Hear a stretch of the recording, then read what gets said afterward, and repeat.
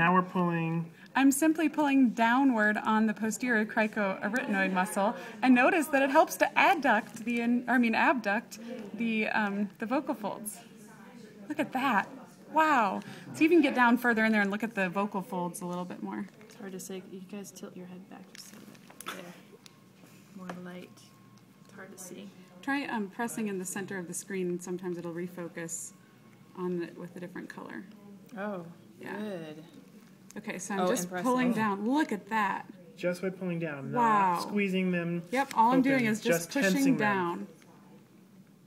Wow, that's incredible. And that is abduction. So abduction. Oh well, that didn't work. Hold on. Adduction. and those are antagonist pairs. Mm-hmm. That is Actually, incredible. the, the